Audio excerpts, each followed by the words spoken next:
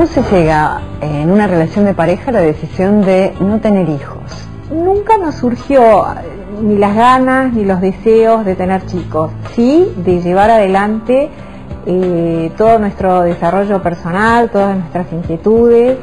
Eh, bueno, hemos estudiado los dos bastante, distintas cosas, nos hemos ido perfeccionando, hemos viajado, pero nunca dijimos, bueno, ahora que nos conocimos, tengamos hijos y criémoslo. Que nos estamos perdiendo algo, seguro que nos estamos perdiendo algo. Debe ser muy lindo tener hijos.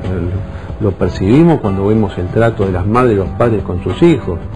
Por eso no somos un ejemplo. Pero uno eligió privilegiar otras cosas, que es la libertad. Es un fenómeno que empieza con eh, generaciones de gente sola, que ya había tomado la decisión de no continuarse a través de los hijos, lo cual no quiere decir de que no, no deseen continuarse a través de otras producciones culturales. Está muy emparentado con otro fenómeno eh, histórico muy importante para pensar la familia en nuestro país y en el mundo, que tiene que ver con la reducción de la cantidad de hijos o con la postergación de los hijos. Y cuando lo comentan a los familiares, a los amigos, o cuando lo comentaban que habían decidido no tener chicos, ¿qué les decían? Que por qué no tienen chicos, que son egoístas. Eh, pero nosotros no sentimos así. Los niños nos encantan a nosotros, ¿eh? contrariamente a lo que uno pueda suponer, que le molestan a los chicos, no nos molestan en lo más mínimo. Somos amigos de los hijos de nuestros amigos. Simplemente que nosotros decidimos abstenernos de esa actividad para poder desarrollarnos en otros campos. No nos mueve el instinto, nos mueve el deseo.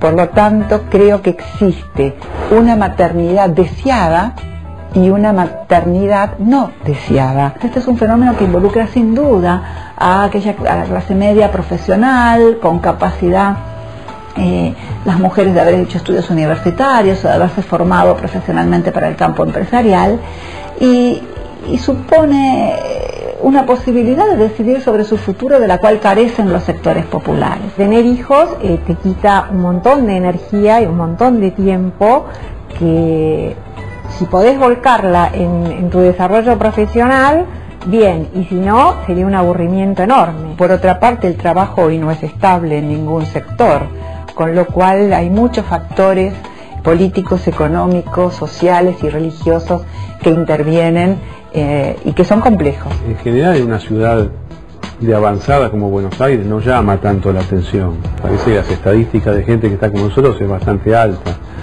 Ahora vas a lugares más tradicionales, del interior o, u otras culturas, no sé, vas al Medio Oriente, nosotros viajamos mucho y ahí somos elementos extraños. Lo que creo que hay es un gran mandato social de, que la mujer tiene que engendrar y reproducir, eh, sin perjuicio de lo cual habrá mujeres que sí tienen como muchas ganas de maternizar y que juegan con las muñecas desde chicas, pero son personalidades, así como hay otras que se les da por el arte, otras que se les da por el deporte, eh, son distintos aspectos de la personalidad. Siempre existió, lo que pasa que estuvo también tapado como muchos otros fenómenos, que en un determinado momento hace eclosión porque se, hacen evidentes, que se identifican como grupos eh, y que son aprovechados inclusive como consumidores. Eh, los loft fueron creados para personas solas un loft, digamos, donde no hay paredes, eh, una vivienda no está pensada para niños, eh, donde por ejemplo hay que cerrar la puerta para mantener relaciones sexuales. Y cada uno que siga lo que le dicte su corazón.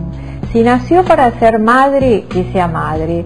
Si no nació para ser madre, que se permita no serlo. Porque primero puede adoptar chicos, lo puede adoptar de grande, de joven, cuando quiera. Y si no quiere adoptar, bueno, puede desarrollar otras cosas que le hagan feliz y creo que con eso también va a servir a la sociedad, al género humano. Eh, no es lo único que puede hacer una mujer, reproducirse.